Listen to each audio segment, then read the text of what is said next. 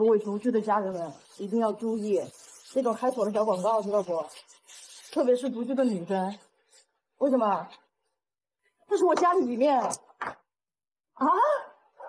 啊，阿哥，我承认你的业务能力，好吧？但是已经报警了，已经报警了，家人们。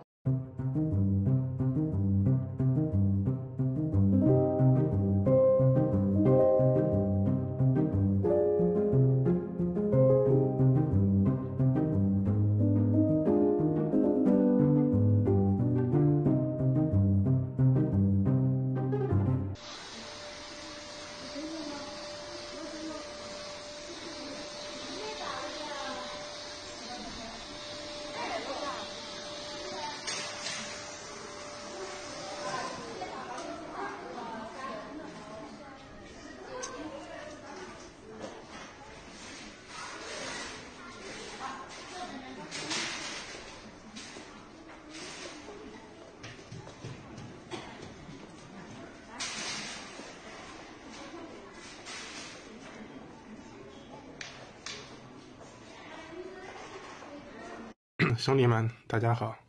从声音能听出来，是不是有什么异常啊？好久没跟大家见面了。我阳了，惊不惊喜，意不意外？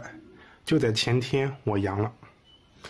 北京阳高峰已经过去快两月了，最近呢，周围也很少听到有确诊病例了。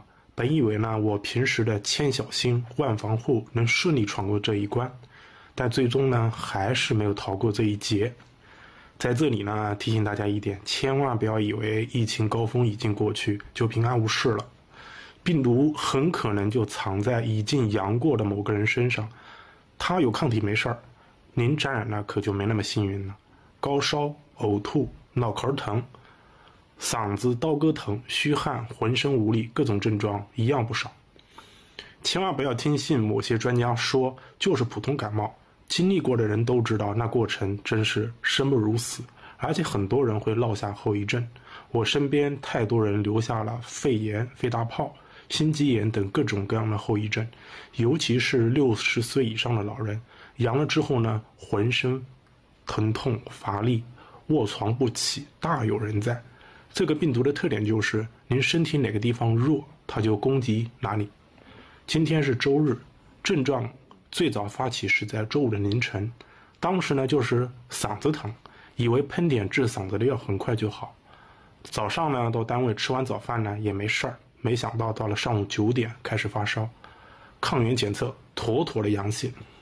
周围同事百分之九十八的人呢在过年前就阳过了，我都突然冒出一个阳性病例，大家都觉得很是奇怪，感觉突然冒出个怪物一样，大家开始。惶恐起来，纷纷戴上口罩，怀疑是不是第二波疫情来了。为了不影响大家，我就赶快收拾东西，开车回家。到了下午两点，烧到了三十九点四，整个人都烧迷糊了。吃了退烧药，躺在床上翻来覆去也睡不着。到了晚上五点，起床喝水，感觉头炸裂疼痛，浑身无力、酸软、发冷，突然一阵眩晕，饿起来。跑到卫生间吐的那个是肝肠寸断，真不是人受的罪。